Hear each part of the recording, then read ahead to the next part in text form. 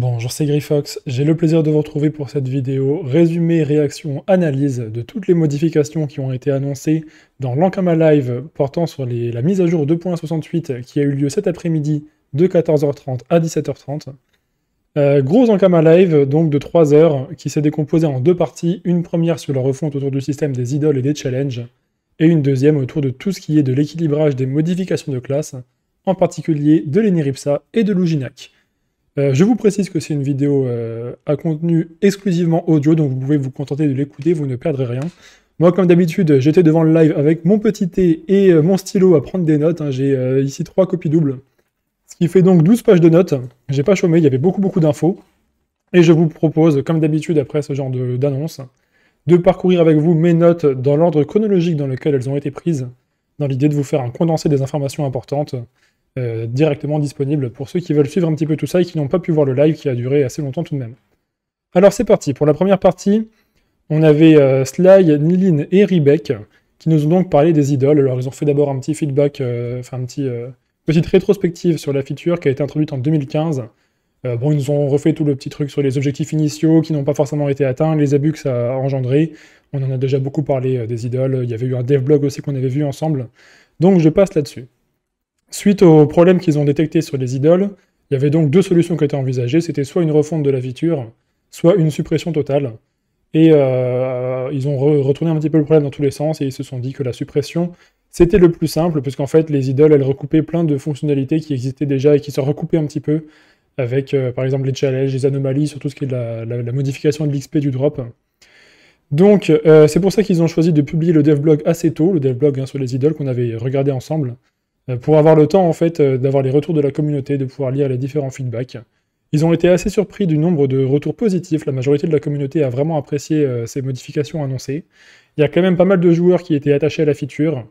il y a pas mal de questions également sur les idoles existantes, qu'est-ce qu'elles vont devenir?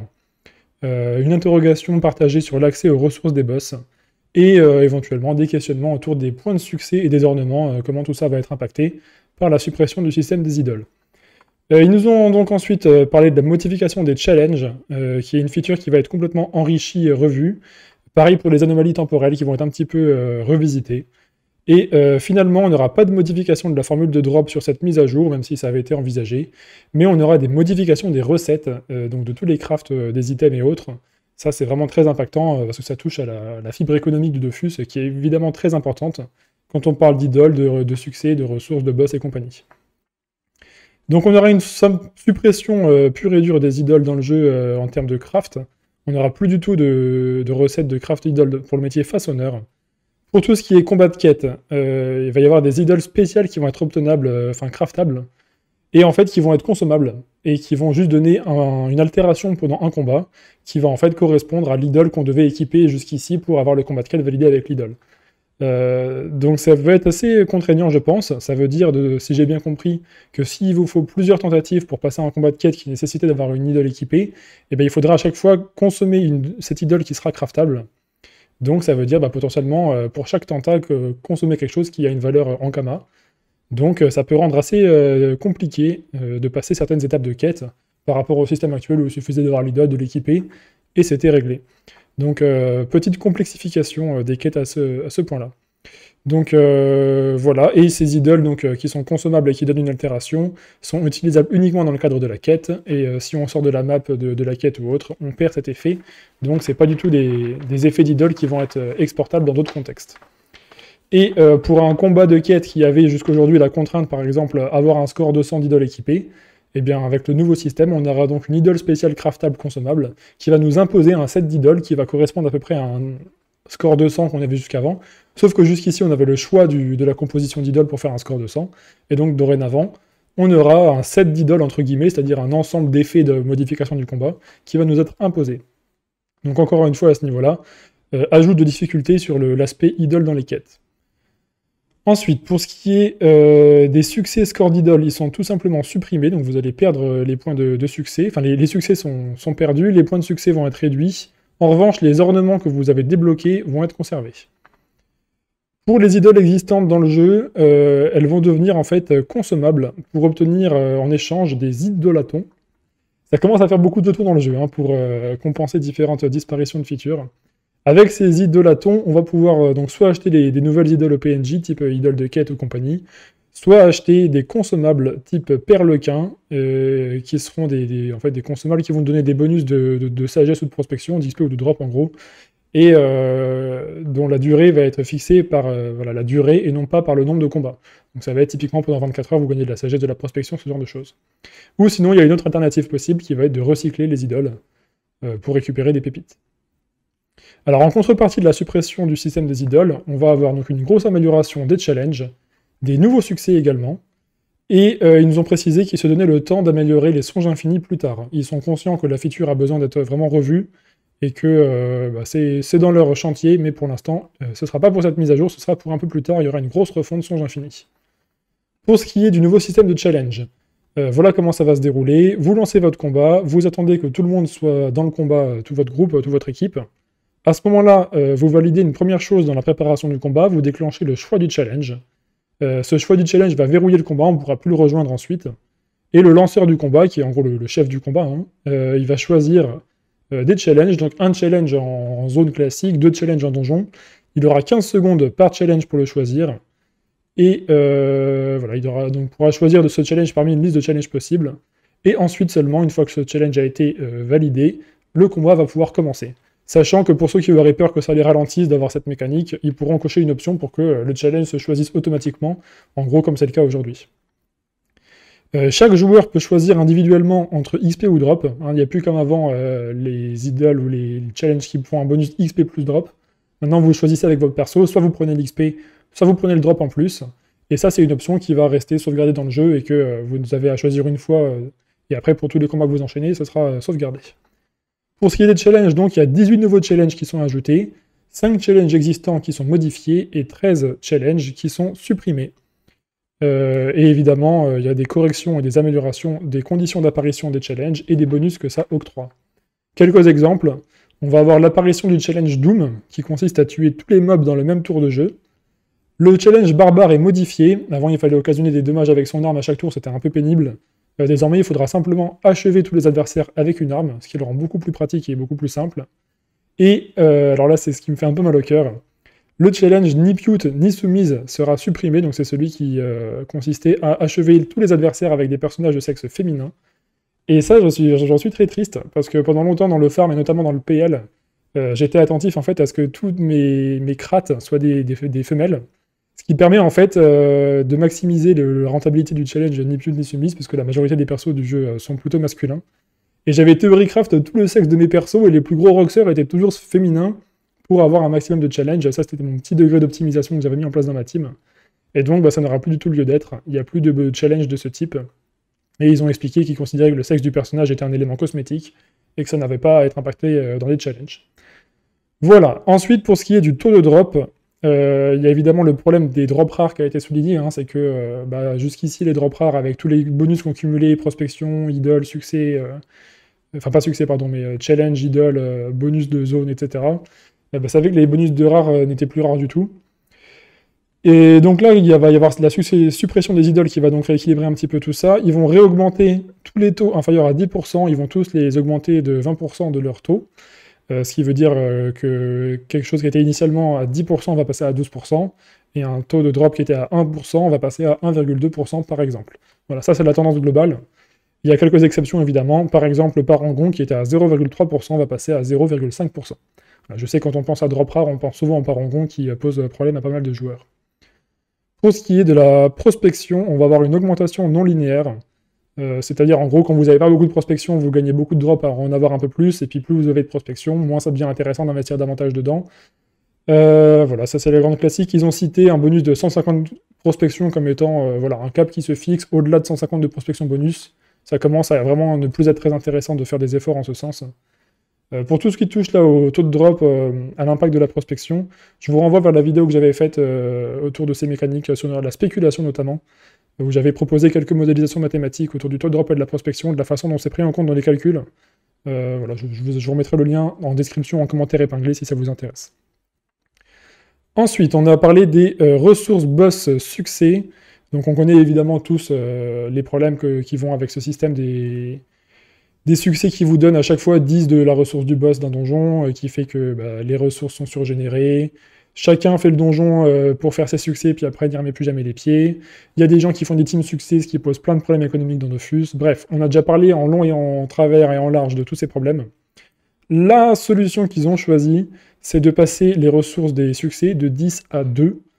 Euh, voilà, on reviendra plus tard sur euh, le pourquoi de cette, de cette valeur. Moi, évidemment, quand j'ai vu ça, ça m'a fait penser à la petite anecdote que j'avais citée dans ma vidéo J'arrête Dofus en 2019 vous j'avais expliqué, on tue un Cthulhu qui a deux ailes, on récupère 10 ailes de Cthulhu, ça n'a aucun sens.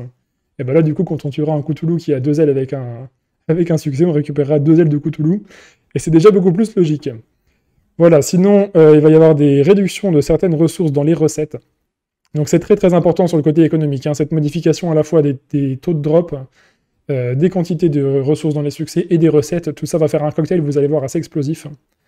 Les ressources rares dans les boss euh, seront fournies dans les méta-succès uniquement, euh, et plus dans les succès simples. En gros, vous n'aurez pas, euh, sur un challenge zombie sur un boss, vous n'aurez plus les ressources rares de boss, parce qu'il y a parfois une ressource commune et une ressource beaucoup plus rare. Et la ressource rare, vous ne l'aurez uniquement dans, dans le méta-succès, c'est-à-dire le succès qui veut dire que vous avez fait tous les succès liés à ce donjon, liés à ce boss. Et l'idée qui vise, c'est que quand vous avez full succès sur un donjon, vous avez de quoi crafter une panneau de ce donjon. Euh, et ce qui veut dire que donc il y aura plus de ressources par euh, item, dans, la recette de craft, pour euh, un item d'une panoplie qui comporte 3 objets, que pour un item d'une panoplie qui comporte 6 objets. Donc voilà, il va y avoir des équilibrages de recettes à, ce niveau-là. L'idée par exemple, c'est que normalement un full succès, ça vous donne 12 ressources de boss. donc pour une panoplie liée au boss qui a 3 éléments, ça voudra dire 4 ressources de boss par craft. Et euh, pour une panoplie euh, qui a 6 items, ça voudra dire 2 ressources de boss par craft, par exemple. Voilà, un petit peu ce sur quoi ils vont se baser pour équilibrer les recettes. Et point très très important, euh, les succès en attente sur vos personnages vont être actualisés à la mise à jour. Ce qui veut dire qu'il faudra absolument que vous les acceptiez avant de passer à la 2.68. Sinon, bah, pour tous les succès en attente que vous avez, au lieu d'avoir 10 ressources par succès, vous n'en aurez plus que 2. Voilà, ensuite au niveau des anomalies, il euh, va y avoir plus d'anomalies qui vont être possibles en simultané, et les bonus sont réduits de 30%. Voilà, l'idée c'est de fluidifier un petit peu le système, de dynamiser euh, les rotations de zones. Bon, on ne s'est pas trop trop euh, attardé sur les anomalies. Les, recettes des essences de boss vont également être modifiées, hein, ça va un petit peu dans le même sens forcément. Il va y avoir plus d'une centaine de nouveaux succès, donc en gros un nouveau succès par donjon. Quelques exemples ici de succès par donjon qu'on pourra avoir. Euh, pour Mob l'éponge, par exemple, euh, Mob l'éponge doit être poussé ou attiré au moins une fois par tour global de jeu. Dans le donjon de la Reine Niée, lorsque la Reine Niée invoque un œuf, euh, celui-ci doit être achevé avant le début de son prochain tour de jeu. Dans le Shenmue, les alliés doivent terminer leur tour en ligne d'un ennemi, et à la Reine des voleurs, les alliés ne doivent pas être soignés par les bombes. Voilà, quelques idées, quelques illustrations comme ça de nouveaux succès qui vont apparaître sur les donjons. Euh, ce que je trouve vraiment très sympa, ça va apporter un peu des nouvelles mécaniques, ça va vraiment être des choses très spécifiques au gameplay d'un donjon, d'un boss. Euh, donc ça, peut mettre un petit vent de fraîcheur en PVM, ce sera à mon avis un peu plus euh, stimulant que juste de passer avec des scores d'idoles à deux balles ou faire un, succès qui en fait n'est qu'un challenge sous forme de succès. Au niveau des dates, la bêta 2.68 va arriver jeudi 15 juin, donc dans deux jours. La bêta va durer trois semaines et la mise à jour 2.68 sera en ligne le 4 juillet. Les ressources euh, des succès euh, n'ont pas été totalement supprimées pour euh, en fait penser aux monocomptes et aux joueurs casués. La question s'était posée hein, quand ils avaient le Delblog. Est-ce qu'ils réduisent la quantité de ressources qu'on a dans les succès ou est-ce qu'ils les suppriment complètement?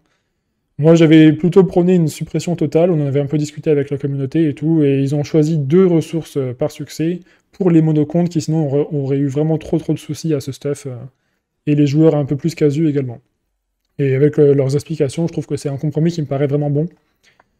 Euh, mesure très importante aussi, il n'y a aucune décision particulière qui a été prise pour les stocks de ressources existants actuellement.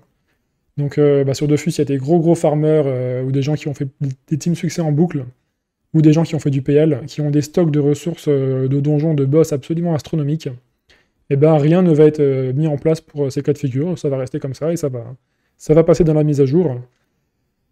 Et ça, c'est peut-être à mes yeux la plus grosse difficulté qu'on va avoir, parce qu'en fait, ça va faire un double jackpot, pour les personnes qui sont dans ce cas de figure. Pourquoi? Parce qu'ils vont garder leur stock, euh, stocks qui sont vraiment astronomiques pour certains. Je pense que la majorité des joueurs n'imaginent pas ce que certains ont dans leur banque. Et en plus, avec les nouvelles recettes, euh, bah, il y a besoin de moins de ressources pour crafter les objets. Ce qui veut dire que la valeur marchande et le, pouvoir monétaire de ces stocks de ressources va être absolument astronomique. Et euh, bah, du coup, c'est vraiment le, ticket gagnant pour ceux qui ont fait du stock de ressources, éventuellement qui ont vendu leurs idoles dès les annonces de ces modifications, qui là sont vraiment les rois du monde sur Dofus. Hein. Franchement, euh, quelqu'un qui a 5000 décheleuils dans sa banque, là, il est bien pour quelques années sur le jeu, à mon avis. Euh, donc ça, c'est peut-être la plus grosse problématique à laquelle il faudra faire face sur les serveurs, c'est vraiment la gestion des stocks. Ensuite, il y a eu une petite section questions-réponses dans le stream. Euh, donc euh, ils ont expliqué que les perlequins, évidemment, ça fait réagir pas mal de monde. Ça compense un peu les idoles dans le sens où ça nous donne les mêmes bonus, euh, type sagesse XP. Bon, moi, je suis difficilement d'accord avec ça, et évidemment, c'est pas une solution parfaite, hein, mais on peut pas remplacer un truc fixe par des consommables, et d'autant plus en fait que les idoles avant c'était cumulatif avec des éventuels bonus, bonbons, consommables ou autres. Là maintenant, bah, ça va juste être un truc qui se consomme et puis qui, disparaît. Donc ça va être un coup dur quand même la suppression de toutes ces idoles pour les, joueurs pour lesquels ça représentait un investissement assez conséquent. un set d'idoles, c'était quoi? C'était 30-40 millions sur serveur multi à peu près. Donc bah, selon les moyens que vous avez dans le jeu, c'est plus ou moins difficile d'acquisition pour, euh, pour chacun. Ils ont choisi de ne pas toucher aux kamas des succès, ça, ça va pas bouger, hein. les kamas qu'on gagne par les succès vont rester les mêmes. Les taux de drop des viandes ont été augmentés, et pareil pour les drops rares des protecteurs de ressources pour les métiers de récolte. Voilà, donc mon avis un petit peu sur toutes ces modifs, c'est que c'est très sain pour le jeu à long terme, euh, notamment dans le cadre d'un nouveau serveur par exemple, hein, ce qu'on pourra attendre avec Unity. Euh, ça, me, ça met en, place un cadre de jeu qui est vraiment euh, extrêmement bénéfique et à mon avis vraiment bien bien conçu pour la durée. La grosse difficulté, comme je le disais, ça va être la phase de transition entre ce qui est dans le jeu actuellement, les stocks qui ont été constitués, euh, la sensation d'injustice, euh, d'inéquité qui va pouvoir être perçue par certains joueurs. Euh, je suis un petit peu dans ce cas de figure parce que moi j'ai ma grosse team Panagriffe qui consiste à faire le jeu sur 20 comptes en simultané. Je prépare la team depuis deux ans et là, bah, juste quand je, comptais commencer à me mettre au PVM, eh bah, je vais avoir des ressources par les succès extrêmement réduites par rapport à ce que j'ai eu avant. Bon, moi, je, je, m'en remettrai sans aucun problème. Mais je me, mets dans, la, peau de certains joueurs qui pourront être plus, sensibles côté bah, c'est pas juste. Euh, moi, là, je vais jouer, je vais mettre tant d'heures de jeu et je vais récupérer beaucoup moins de valeur que ceux qui l'ont fait il y a 6 mois. Et ça, je pense que c'est une difficulté qu'il va falloir surmonter pour la communauté. Et j'ai un petit pincement au cœur quand même de la perte de la figure des idoles, euh, parce que je trouvais que c'était vraiment sympa. Euh, notamment celle qui modifie vraiment le combat, type des liquides, des choses comme ça, qui pouvaient amener des mécaniques vraiment intéressantes. J'aurais bien aimé que le système soit conservé, euh, même si ça rapportait par exemple plus de, drops, ça aurait pu être une issue. Moi j'aurais imaginé que peut-être euh, les idoles pourraient ne donner que de l'XP et des succès, et, puis interagir avec les quêtes. Je trouve c'est vraiment dommage parce que le système était quand même sympa sur plein d'aspects et c'est un peu triste qu'ils disparaissent. Voilà pour la première partie sur tout ce qui touchait euh, les ressources, les idoles, les succès, l'économie. On va ensuite passer à la deuxième partie qui concerne les classes. Alors pour cette deuxième partie, on avait Crocus avec Hit 6, euh, qui nous ont détaillé un petit peu tout ça. Alors on a beaucoup beaucoup d'informations sur les classes, sur les sorts et compagnie, en particulier Luginac et les Neripsa, mais également d'autres classes, sachant que là, euh, bah, je suis, moi dans ma prise de notes, je vais aller vraiment à l'essentiel, et eux aussi dans ce qu'ils ont présenté, et que euh, bah, jeudi, a priori, avec la bêta, vous allez avoir le changelog, et dans le changelog, vous allez avoir tous les détails avec les données chiffrées beaucoup plus précises. Voilà, alors on a commencé avec Luginac. Petit bilan, petit constat sur Luginac. C'est une classe qui est actuellement trop forte en 1v1, ce qui est un peu logique avec le design de la classe, hein, puisqu'elle est vraiment axée monocide avec sa mécanique de proie. Trop faible en multi en PVM, donc en PVP multi et en PVM, notamment à cause de son manque de portée, son manque de zone, de protection sur ses alliés, son manque d'action multi-cible et euh, une incapacité à interagir avec l'équipe. C'est une classe qui est beaucoup trop sensible à l'érosion en PVP et qui est trop axée mono-cible dans son gameplay. Donc les idées de cette euh, c'est pas une refonte de Luigi, c'est des modifications euh, quand même assez, assez consistantes, qui visent à améliorer sa polyvalence, euh, qui vont lui donner accès à un nouveau sort par voie élémentaire. Euh, juste là, c'est une question de répartition des variantes dans le kit de sorts.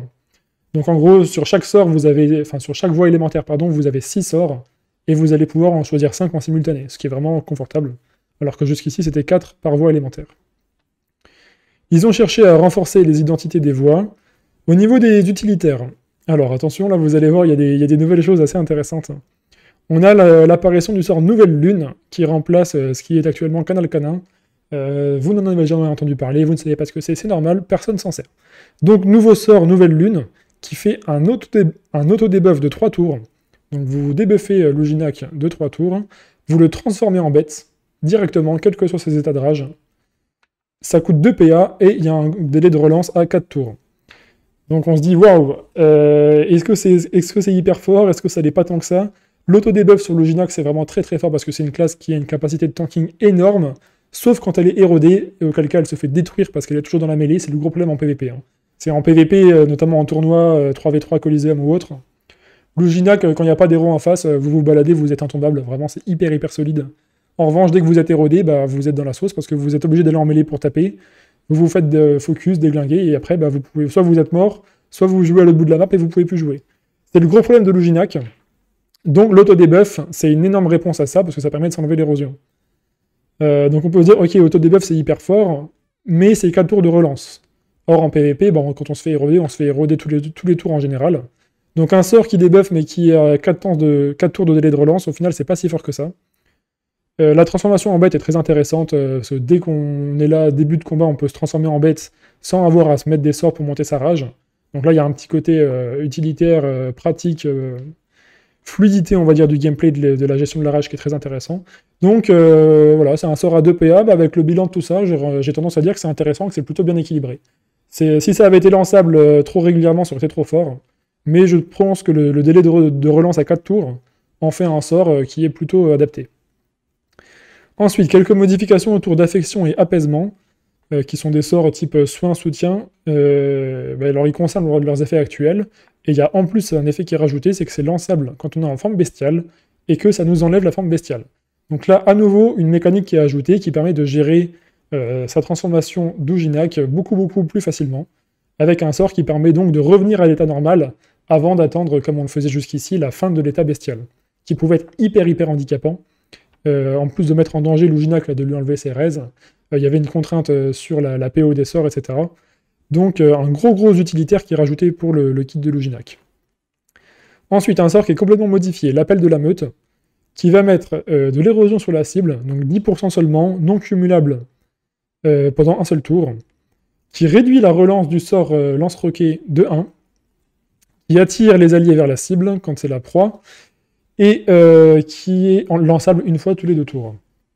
Donc pareil, c'est un sort qui a l'air assez intéressant, assez complet, euh, ce qui veut dire que potentiellement avec le Ginac, on va pouvoir se passer de la gangrène pour éroder, notamment en mode R. Ça veut dire qu'on a ce sort-là qui a 10% d'érosion, plus les charognes qui peuvent mettre 2 fois 10%, quelqu'un on sera capé à 30% d'érosion, euh, mais c'est déjà beaucoup.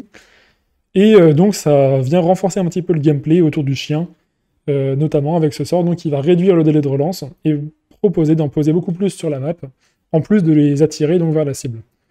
Euh, et c'est la variante de Nouvelle Lune, donc le sort dont je vous ai parlé avant, qui débuffe Luginac. Donc deux sorts puissants, mais pas non plus broken, je pense, euh, entre lesquels il va falloir choisir, et qui, vont venir un petit peu indexer le gameplay. Donc déjà, rien que ça, c'est déjà, euh, déjà beaucoup pour Luginac, ça va régler certains problèmes. J'aime beaucoup le côté où ça s'attaque aux problèmes de fond sans aller non plus dans l'excès. Ça reste des sorts qui sont mesurés, qui sont pas trop forts. Au niveau équilibrage, pour l'instant, ça m'a l'air très bien. Alors, attendez de voir la suite. Mais en tout cas, jusqu'ici, ça va. Je bois un petit coup d'eau et on passe au sort.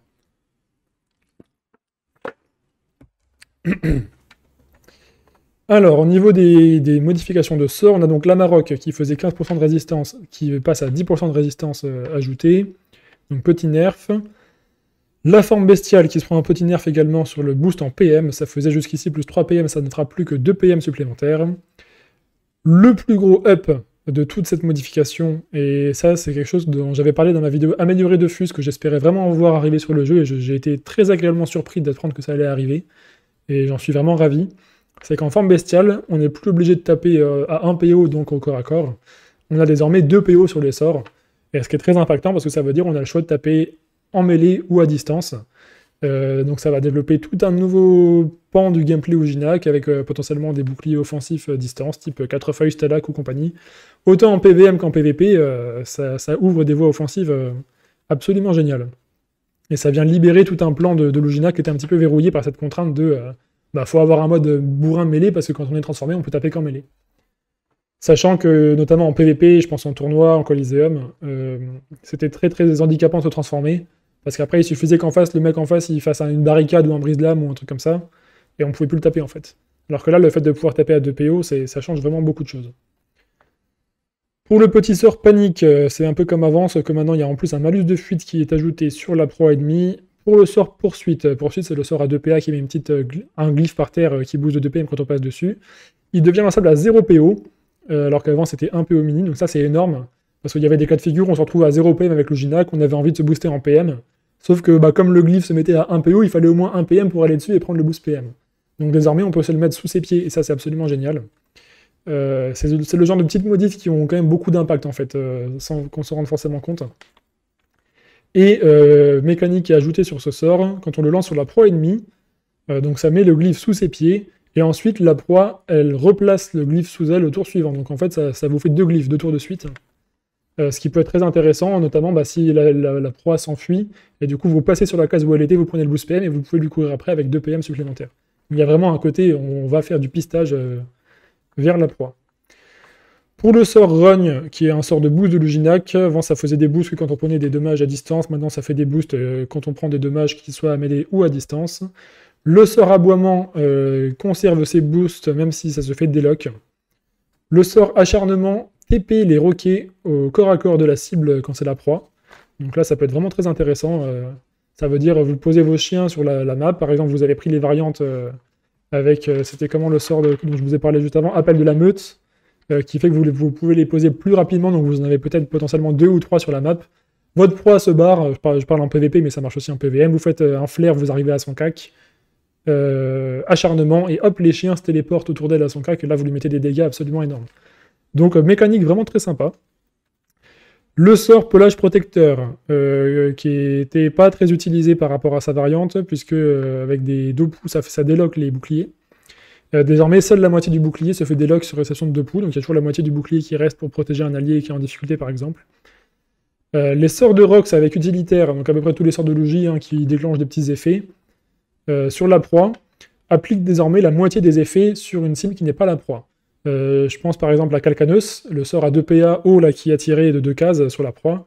bah, si vous le lancez sur un ennemi qui n'est pas la proie, par exemple, vous allez la tirer d'une case, euh, ce qui reste toujours très intéressant. Euh, dans plein de cas de figure, ça vous fait plein de, petits utilitaires accessibles plus facilement sans avoir besoin d'avoir mis l'état proie. Ensuite, on passe plus spécifiquement à la voie terre. alors là, je vais juste vous parler du sort Cerber. Cerber qui applique un bouclier et dont le nombre de lignes de dégâts augmente avec l'état de rage. Donc en gros, si euh, vous n'avez aucun état de rage, euh, c'est une ligne basique. Si vous avez un état de rage, c'est une ligne mais avec une valeur un peu plus haute. Deux états de rage, vous avez deux lignes de dégâts. Et trois états de rage, donc c'est-à-dire transformés en forme bestiale, vous avez trois lignes de dégâts qui s'appliquent sur la cible. Trois.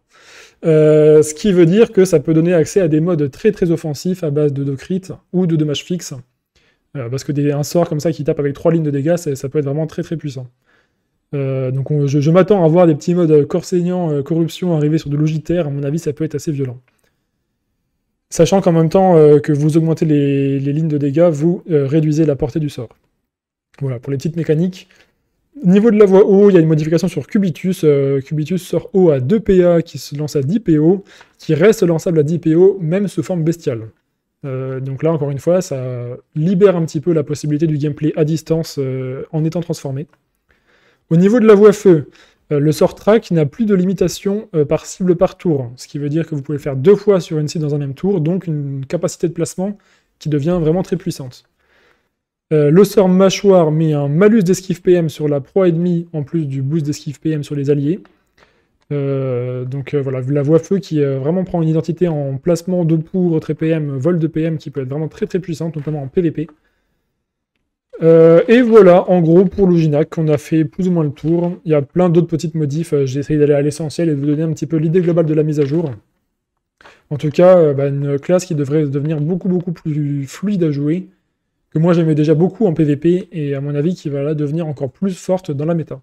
avec même peut-être une petite interrogation sur est-ce que ça va pas être trop puissant. Mais comme au final, le vrai problème de Luginac, notamment en PvP, c'était la sensibilité à l'érosion, euh, et que le debuff n'est lançable qu'une fois tous les 4 tours, bah, je pense qu'en fait, euh, non, ça va rester relativement équilibré, parce que ça reste une classe qui a besoin de s'exposer pour taper, Et bah, en les rodant et en la focusant, ça va rester assez fragile à mon avis. Donc voilà, je pense que c'est plutôt des bonnes modifications. On passe désormais à ce que tout le monde attendait depuis longtemps, l'Eneripsa, évidemment.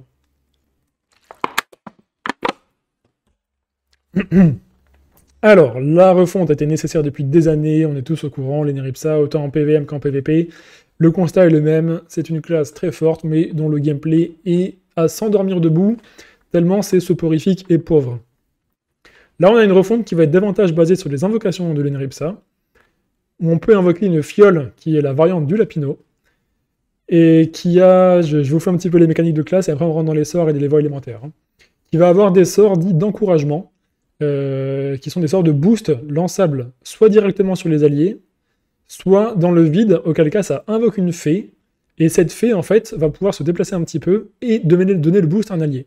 Ce qui veut dire qu'en fait, c'est euh, indirectement un boost de, portée de l'éneripsa. Vous pouvez poser votre boost dans le vide, ça invoque une petite fée qui va le transmettre, donc la fée, elle meurt comme ça, en le transmettant à un allié. Donc euh, très sympa comme mécanique de, boost sur les alliés.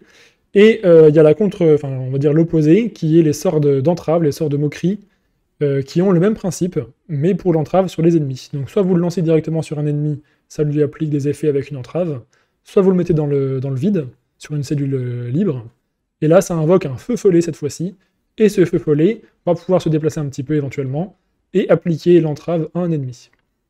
Sachant que vous pouvez poser maximum par tour, maximum une fée et maximum un feu follet par tour.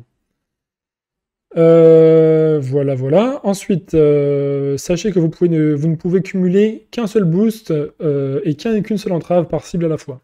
Donc si vous voulez booster vos alliés, bah, si vous voulez le booster en PA et ensuite le booster en PM, ça va enlever le boost PA. Vous n'avez qu'un seul boost à la fois possible. Et même mécanique sur les entraves sur les adversaires, si vous leur retirez des PA, vous ne pourrez pas leur retirer de la puissance, ce n'est pas cumulable. Donc il faudra bien choisir ce qu'on choisit de mettre à l'ordre des sorts éventuellement. Euh, il y a une limite à ce niveau-là, et heureusement, parce qu'il faut que ça reste quand même équilibré tout ça. Ensuite, euh, mécanique autour de la fiole, euh, si vous lancez vos sorts sur la fiole, les effets s'appliquent en zone. Donc par exemple, si vous avez votre team qui est en paquet, vous mettez une fiole au milieu, vous mettez le, mot d'encouragement qui donne des PA, bah, ça va mettre un boost PA en zone autour de la fiole. Et pareil, même mécanique sur les adversaires avec la fiole et des mots qui mettent des entraves. La fiole également, autre mécanique, elle peut être chargée dans un élément. Euh, donc pour ça, il faut la taper avec un sort élémentaire de l'Eneripsa dans un élément. Ça va la charger dans cet élément. Et alors là, Lenny, il peut soit se booster dans cet élément, euh, lui ou un allié, euh, soit retaper la fiole dans le même élément, ce qui la fait exploser et infliger des dommages de cet élément autour d'elle. Donc voilà, des mécaniques un peu plus riches, ça reprend certaines choses qu'on connaissait sur Lenny jusqu'ici, mais là c'est beaucoup plus de profondeur, beaucoup plus de capacité de gameplay et des combos très intéressants. Notamment, vous allez voir que Lenny a beaucoup de sorts de zones, donc il va pouvoir booster ses fioles et les faire exploser euh, en cobotant dans des sorts qui sont déjà en zone et qui touchent déjà des adversaires. Donc ça peut faire des combos assez violents, euh, ce qui rappelle éventuellement le Pandawa, qui est assez tonneau, là, qui peut lancer avec des sorts, et ça met des dégâts en zone en plus des dégâts du sort initial. Voilà, sachant qu'en plus vous avez un remboursement de 2 PA quand vous tapez la fiole, euh, ce remboursement de PA qui ne peut être déclenché qu'une seule fois par tour, donc ça veut dire en gros chaque tour vous avez quasiment un sort gratuit sur la fiole qui peut vous, permettre de jongler un petit peu avec cette mécanique de façon plus facile. Les fioles sont lançables une fois par tour, mais vous pouvez en avoir plusieurs sur le terrain, donc si euh, tour après tour elles ne sont pas détruites, elles ne sont pas consommées, vous pouvez avoir une, deux, trois, quatre, cinq fioles sur le terrain tour après tour, sachant que ces fioles consomment des invocations. Donc à chaque fois que vous avez une fiole, ça vous consomme une invoque de votre stuff, donc au bout d'un moment vous allez être limité par le nombre d'invocations que vous avez disponibles. Il y a pas mal de choses dans le kit de l'Eneripsa en termes de sorts. Vous avez du debuff sur les ennemis, vous avez des entraves PA, PM, puissance, dommage. Euh, donc beaucoup beaucoup de choses. Encore une fois, tout ça reste relativement équilibré parce qu'il y a beaucoup de choses qui ne sont pas cumulables. Et euh, il y a beaucoup de sorts qui ont l'air vraiment puissants quand on les voit. Moi, c'est un petit peu la sensation que j'ai eue quand j'ai tout regardé. Mais avec des, choix de variantes qui sont difficiles. Il y a souvent deux sorts assez puissants qui sont variantes l'un de l'autre, donc il faudra choisir en fait euh, celui qu'on veut dans son kit. Donc tout ça sont des éléments qui me, font penser que ça va être relativement équilibré, et qu'il y a pas mal de, compositions, de combos, de kits de sorts qui vont pouvoir être très très puissants selon les situations, mais euh, sans être non plus abusés. Euh, ensuite, on va parler du Lapino, le Lapino qui récupère désormais les sorts de soutien. Euh, par exemple, le mot de prévention va être plus ou moins mis sur le Lapino, ou en tout cas un équivalent. qui peut également lancer un sort pour se transformer en lapino beaucoup plus costaud et se mettre à coller des gros dégâts, ce qui peut être assez, sympathique. dégâts qui vont être par défaut des dégâts neutres, mais le lapino peut être chargé dans un élément de la même façon que la fiole en tapant dessus avec un sort élémentaire, auquel cas le lapino va se mettre à taper dans l'élément dans lequel il est chargé. Et euh, détail qui n'est pas du tout un détail, c'est que le lapino possède ses propres stats. C'est pas l'Eneripsa qui transmet ses caracs, euh, ses statistiques à l'invocation. Le lapino, il a ses propres stats, ce qui veut dire que, quel que soit l'élément de l'Eneripsa, vous pouvez faire taper votre lapino dans n'importe quel élément, ce qui peut être très intéressant autant en PVM qu'en PVP pour s'adapter à des résistances d'un adversaire qu'on veut focus par exemple. Voilà euh, sur les premières grandes lignes de l'Eneripsa, c'est pas fini. Hein. Maintenant, on va rentrer dans les détails des différents sorts, des différentes voies élémentaires. Euh, dernier mot juste sur le Lapino. Quand le Lapino meurt, il pose toujours un glyphe, comme c'était le cas jusqu'à maintenant. Ce glyphe qui soigne les alliés en début de tour, et qui tape les ennemis dans le meilleur élément de l'Eneripsa, en début de tour également. Donc un glyphe qui devient à la fois défensif et offensif. Alors, maintenant, on va passer aux voies élémentaires. Sur chaque voie, il y a 7 sorts. Euh, je vous ai mis à chaque fois, en gros, les éléments importants. Je vais aller assez vite parce qu'il y a beaucoup, beaucoup d'éléments. Et j'ai essayé d'aller vraiment à l'essentiel, ce qui va vous permettre de bien cerner le design de la classe, euh, les possibilités, l'identité des voies. Donc, pour la voie R, on a un premier sort qui tape R, qui vole des PM. Deuxième sort, je, vais vite, hein, je ne donne pas spécialement les noms et tout, c'est pour que vous vous représentiez. Un autre sort qui tape R, qui met du retrait de puissance selon les PM utilisés. Euh, donc la cible va avoir un effet, selon les PM qu'elle utilise, elle va perdre de la puissance, euh, ce qui est une façon indirecte de, la, de, mobilité, en... ce qui est assez intéressant comme mécanique, ça fait penser au, vertige, à des, anciens poisons qu'on a pu voir sur Dofus à d'autres moments de, la méta. Un sort qui tape R les ennemis, soigne R les alliés, et euh, téléporte en fin de tour un ennemi à sa position précédente. Alors, euh, outre la petite mécanique de TP qui est assez originale, on voit ici donc l'introduction de la mécanique de soin euh, dans un élément autre que la voie feu, ce qui est quelque chose d'assez général à la classe, hein. vous allez voir sur toutes les voies il y a cette mécanique. En gros, bah, ça marche comme le soin feu qu'on connaît, sauf que ça prend en compte les, stats d'un autre élément. Par exemple, là en soin R, ça va prendre en compte votre agilité et vos soins fixes dans votre stuff. Voilà, donc il n'y a plus spécialement le, duo intelligence et soin pour soigner, Maintenant, on va pouvoir soigner R avec de l'agilité et des soins, soigner Terre avec de la force et des soins, soigner eau avec euh, de la chance et des soins, par exemple. Donc là, on comprend mieux pourquoi il y a peut-être une préméditation sur les des stuffs qu'on a pu voir arriver sur les mises à jour précédentes, euh, type euh, Terre soin. Bon, on était nombreux à se dire, mais attends, qu'est-ce que c'est que ce truc?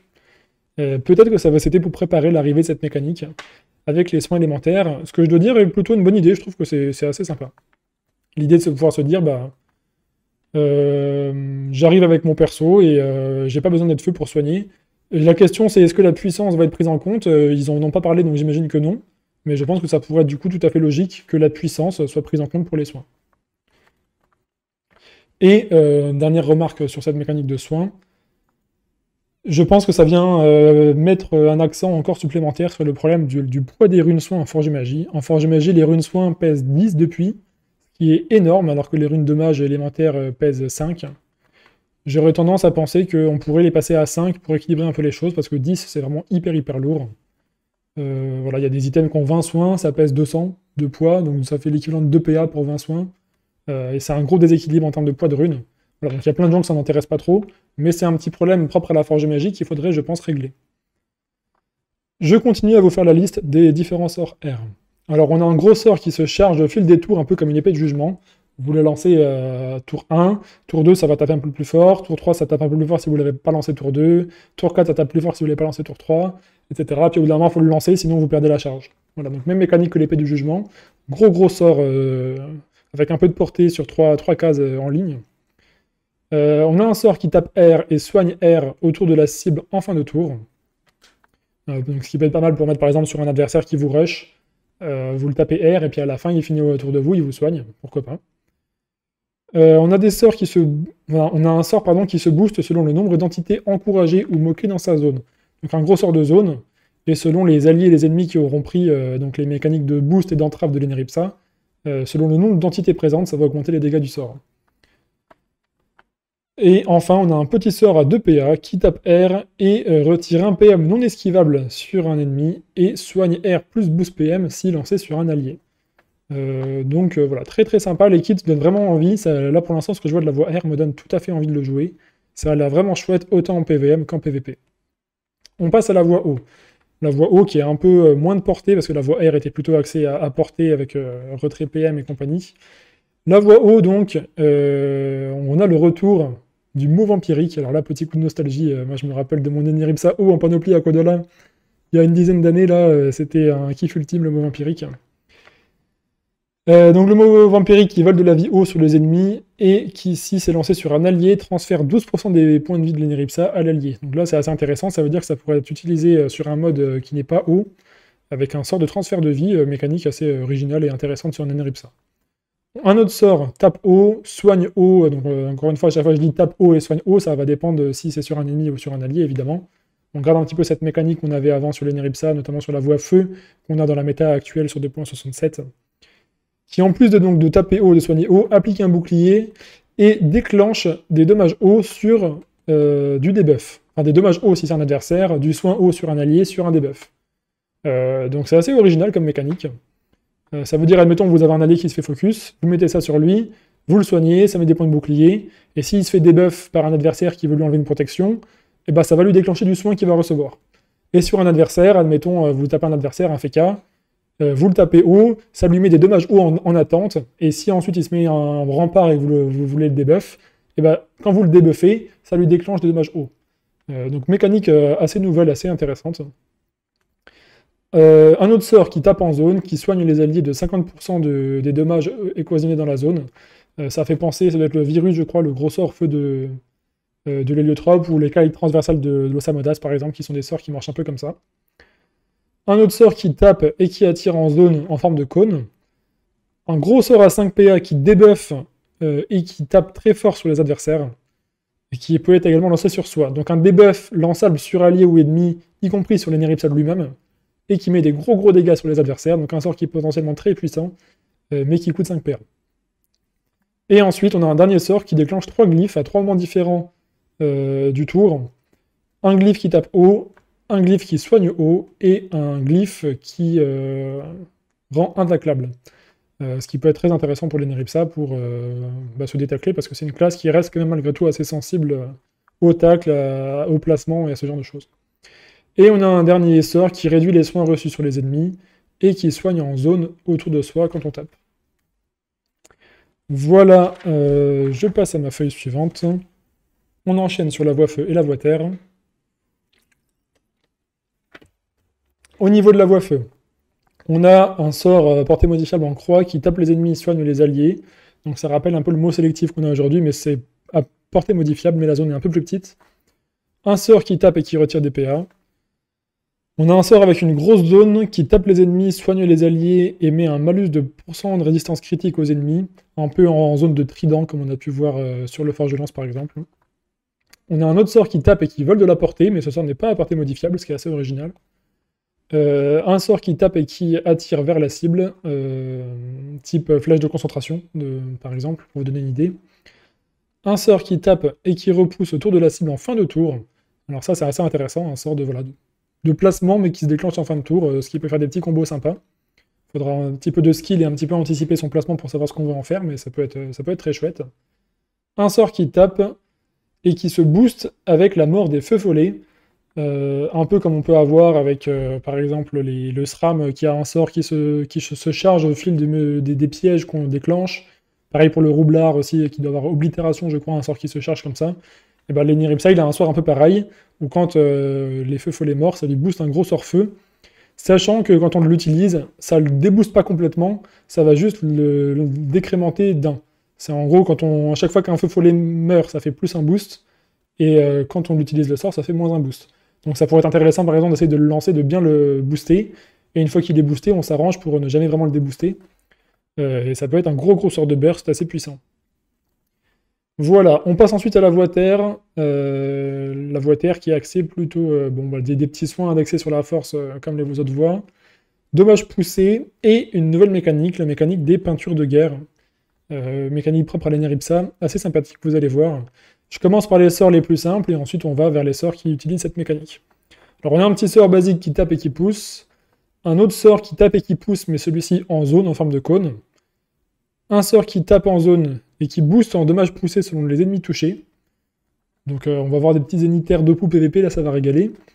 Ensuite, on a le sort peinture de guerre. Alors, ce sort, il tape les ennemis, il soigne les alliés, toujours avec cette mécanique des soins, euh, des soins force du coup, des soins terre. Euh, il applique l'état peinture de guerre. Alors qu'est-ce que ça fait cet état? Sur les adversaires, ça met un malus de résistance poussée. Donc là, on voit vraiment une voie terre orientée de poux. Et sur les alliés, ça leur met un soin en début de tour pendant deux tours. Donc un soin terre de début de tour, euh, qui rappelle un petit peu le mode de régénération, qui soigne sur deux tours en début de tour. Autre sort qui utilise cette mécanique, le pinceau de guerre. Alors le pinceau, il vient propager l'état peinture de guerre et taper en zone. Euh, si se le fait sur lui-même, ça tape tous les ennemis qui ont l'état peinture euh, et qui, euh, en fait, dont les dégâts sont augmentés avec le nombre d'ennemis qui ont cet état. Donc ça peut être, ça peut être assez, assez puissant. Ça rappelle un peu à la fois une mécanique un petit peu de, de rune de permage qui stack des états et qui stack des dégâts qu'il va pouvoir déclencher d'un coup, ou une infection de Sadida qui se propage. Il y a un côté vraiment sympa euh, dans le design, je, suis assez convaincu par ce que j'ai vu, euh, mais avec un scaling qui peut être vraiment très puissant. Il y a un autre sort qui tape en anneau, qui soigne à l'intérieur de l'anneau, donc encore une fois, ça tape terre, ça soigne terre, et qui pose un glyphe en anneau, et le glyphe, en fait, il fait que quand on passe dedans, on prend l'état peinture de guerre. Donc encore une fois, euh, sur ennemi ça met malus répou, et sur allié ça met du soin en début de tour. Et ça permet de déclencher les autres sorts qui interagissent avec. Et on a un dernier sort qui tape les ennemis et qui soigne le lanceur, ou qui soigne un allié et euh, lui applique un pourcentage de réduction de dommages subis. ça doit être un petit sort, de mémoire c'est soin terre, et euh, dommages subis x 93%, donc 7% euh, de dommages finaux subis en moins. Et ensuite, on passe sur les sorts utilitaires de l'Eneripsa. Donc on a vu les 4 voies élémentaires. le mot galvanisant devient un petit sort de boost puissance plus bouclier. Euh, l'ensemble en mono-cible. Donc on oublie le, le gigamode galvanisant qui met 2 PA sur toute la team qui était absolument abusé et qui n'avait aucun sens. Ça, hop, ça trisse. Le mode frayeur passe à 2 PA, à portée modifiable, et euh, la poussée devient de 2 cases si la cible a subi une, entrave, donc type euh, mot, cri et compagnie, avec les feux follets, la mécanique de l'Eneripsa d'entrave. Donc voilà, peu nerf ou up du, du mode frayeur, ça dépend comment on voit les choses. Euh, mais c'est tout à fait cohérent avec le reste des modifications. Un gros sort, euh, Scalpel, qui tape dans le meilleur élément et qui érode 10% juste pour ses dégâts. Donc c'est un peu bizarre, j'ai un peu en mode qu'est-ce qu'ils disent quand ils ont présenté le sort, je comprends pas trop le design. Donc en gros, quand vous lancez sur un adversaire, ça fait 10% d'érosion, ça tape dans le meilleur élément de l'Eniripsa, et ensuite ça enlève les 10% d'érosion. Donc en gros, vous avez 10% d'érosion juste pour les dégâts du sort. Je trouve ça un peu lourd, franchement, j'ai du mal à comprendre le design de ce truc. Euh, ça me paraît vraiment lourd pour pas grand chose. Euh, pour moi, ça, c'est le genre de choses dans lesquelles il tombe un petit peu. Ça me rappelle par exemple les. Vous savez, les dommages déclenchés de l'Enutrof sur retrait PA, retrait PM, retrait PO avec euh, les types, type, les monnaies sonnantes, les, les éboulements, les, sorts comme ça, là. dont l'amplitude du, sort augmente à chaque déclenchement. Genre, ça n'a aucun sens. Ça n'apporte rien dans, dans, le design, dans le gameplay. Ça vient juste faire des sorts qui ont plein de lignes de description quand on lit les effets et ça vient complexifier le jeu et à mon avis perdre un petit peu les débutants pour pas grand chose. Donc là ce coup du 10% qui s'applique juste euh, avant les dégâts du sort et qui s'enlève juste après, je comprends pas et je pense que c'est une erreur et qu'il faut enlever ça. C'est vraiment alourdir le jeu pour pas grand chose. Et sinon, donc ces mêmes sorts, si on le lance sur un allié, ça fait un gros soin sur l'allié, encore une fois dans le meilleur élément. Et euh, en revanche, ça lui retire 10% de vitalité maximale. Donc là c'est intéressant en revanche. Ça veut dire que euh, bah, sur un allié qui est vraiment très très mal en point, vous pouvez lui mettre un gros coup de soin, ça soigne vraiment très très fort en soin brut, mais ça va lui enlever du pourcent de PV max. Donc euh, c'est vraiment à utiliser, on va dire, en cas de sauvetage pour un allié qui s'est bien fait focus, qui s'est bien fait amocher et qu'on veut vraiment permettre euh, de, garder en vie pendant encore un tour ou deux. C'est un petit peu l'idée. Ensuite, en termes des, sorts un petit peu de, déplacement, on a le mode envol, qui euh, échange de position avec l'allié encouragé. C'est donc c'est un petit peu comme, ici avec l'état stimulant. et ça retire l'état encouragé, donc ça retire le boost de l'allié quand on fait le mode envol dessus. Ou qu'on va faire également sur une fée, auquel cas on la tue quand on lance le sort dessus. Et c'est pareil pour le mode ralliement. c'est lançable sur un allié pour que le déplacement s'effectue. Il faut que l'allié ait reçu un boost avec un mot d'encouragement, ça lui enlève le boost, ou sur une fée, ça tu l'as fait, sachant que le mot de ralliement il est du coup un peu moins fort en mobilité que le mot d'envol, mais il a un délai de relance beaucoup plus faible, donc bah, ce sera à voir en termes de choix de variante euh, lequel est le plus adapté. Ensuite, euh, petite modification sur le mot de reconstitution, qui fait en, gros comme il fait aujourd'hui, un remet full PV mais insoignable, euh, mais qui en plus retire l'encouragement sur la cible. Le mot de solidarité, qui était, euh, vous savez, le sort hyper fort à 1 PA sans ligne de vue, qui, mettait, qui transférait une partie de tous les PV de tous les alliés stimulés à la cible, bah, en gros maintenant ça garde à peu près le même principe avec les, mots d'encouragement, sauf que le, le, sort il a été équilibré sur plein d'aspects, et ça impacte euh, donc l'effet et les alliés en, état encouragé.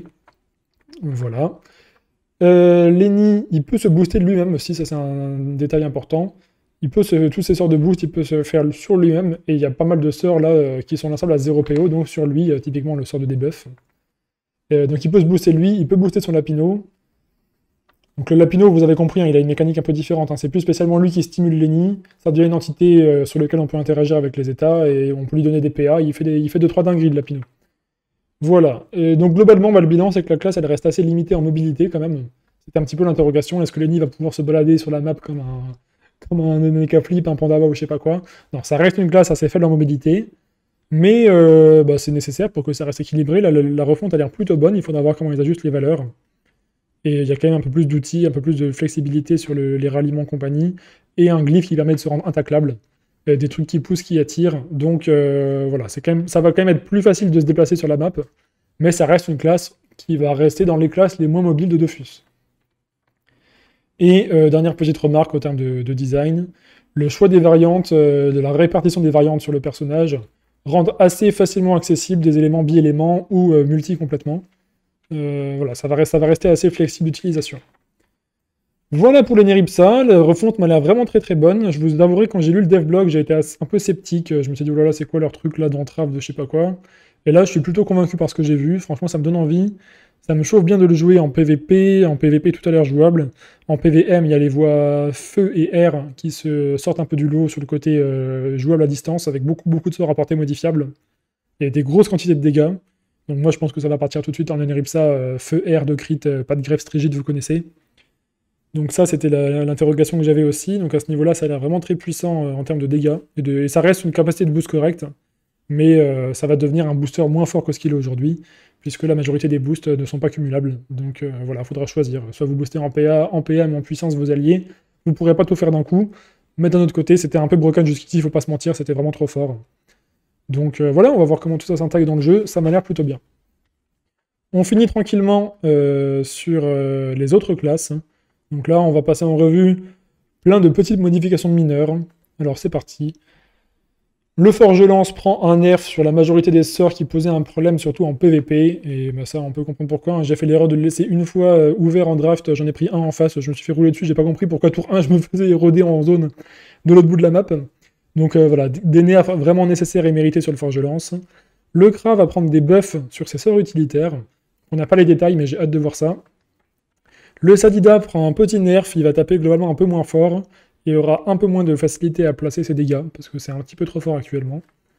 Le Pandavois prend un buff de la voie haut, notamment sur le sort Cascade, c'est vrai que des pandas hauts on n'en voit pas beaucoup, et il se fait nerf la voie feu, qui était un peu trop puissante. Alors, ils nous ont fait un petit teasing euh, sur l'Ankama Live, là, ils nous ont donné des, classes qu'ils allaient modifier, mais ils n'ont pas du tout dit ce qu'ils allaient changer. Donc, apparemment, il y aura une petite modification sur le liotrope, mais on ne sait pas ce que c'est. Euh, il y aura d'ailleurs plein de petites retouches mineures sur plein de classes euh, qu'on découvrira avec la bêta et le changelog. Il y a également une petite modification sur le Yop qui est un peu semblable à celle de l'Héliotrope, mais c'est pas non plus la même. On sait pas ce que c'est, on verra. Le Zebal prend une petite modification sur le sort Inferno. L'Enutroph, il y a une révision légère de certains détails qui avait été légèrement oublié la dernière fois que la classe a été euh, un petit peu modifiée. Sur le roublard, il y a des changements sur la voie R qui devraient la rendre un peu plus cool à jouer. Donc là, j'ai hâte de voir ça. Moi, je joue un roublard R en PVM. Et euh, ils ont évoqué que sur la mise à jour suivante, donc pas celle qui arrive là en juillet, mais la 2.69, qui sera plutôt pour fin 2023, euh, bah, il y aura du coup des refontes et des modifications d'autres classes qui sont celles qui en ont le plus besoin actuellement dans le jeu. Voilà, et après il y a une petite euh, session de questions-réponses, mais il n'y a pas vraiment d'éléments euh, majeurs que j'ai retenu de ça. Juste, bah, du coup, avec toutes ces modifications, il faut aussi qu'on s'attende à des modifications des panoplies de classes. Et c'est toujours intéressant qu'il y a des changements sur les classes comme ça, de regarder les panneaux de classe pour voir un petit peu les combos sympas, les gameplays atypiques, mais potentiellement très puissants qui peuvent se délock grâce à un item de classe. Voilà euh, pour cette euh, vidéo résumé réaction analyse de l'Ankama Live 2.68. J'espère que ça vous a plu, que toutes ces informations vous ont convaincu. Moi franchement je suis plutôt hype par la mise à jour. Euh, quelques appréhensions par rapport à la transition, comme je vous le disais, avec le nouveau système des idoles, des succès, la gestion du stock de ressources existant sur le jeu, sur les serveurs. Mais globalement, le jeu va dans le, bon sens. On sent qu'il continue à, à assainir le jeu pour le passage à Unity. J'espère vraiment que là, on a encore un an devant nous où le jeu va devenir euh, de plus en plus sain sur tout un tas d'aspects qu'il faut retoucher les uns après les autres. Et que le passage à Dofus Unity va bien se passer en 2024. Et que euh, bah, après, on aura un jeu qui va redevenir un, banger total. Quoi. Là, vraiment, ça se, met bien en place pour euh, que le jeu reprenne un, essor énorme, redécouvre un petit peu un âge d'or et redevienne mainstream. Moi, je l'espère de tout mon cœur. Voilà. Dites-moi ce que vous pensez de tout ça. Euh, et puis évidemment, sur le côté PVP, notamment tournoi, j'ai envie de m'investir de plus en plus dans le côté KTA, les drafts et compagnie. Et là, la méta PVP a l'air vraiment d'être de, mieux en mieux au fil des mises à jour. Les matchs d'équilibrage font vraiment très plaisir. Euh, autant sur le côté euh, gestion de l'économie, des succès, des ressources, c'est très compliqué. On a vu la Mage Alliance qui n'est pas forcément très convaincante. Peut-être qu'ils t'attendent un petit peu, ils essaient de faire les choses bien, c'est pas facile. mais pour le coup, sur l'équilibrage plus côté PVP, euh, là, on sent que les choses vont dans le bon sens, ils savent ce qu'ils font, c'est bien géré, ça m'a l'air plutôt euh, très très positif tout ça. Voilà, euh, donc j'espère que ça vous a plu, dites-moi ce que vous en pensez. moi, je vous souhaite une bonne journée ou une bonne soirée. Prenez soin de vous et à bientôt.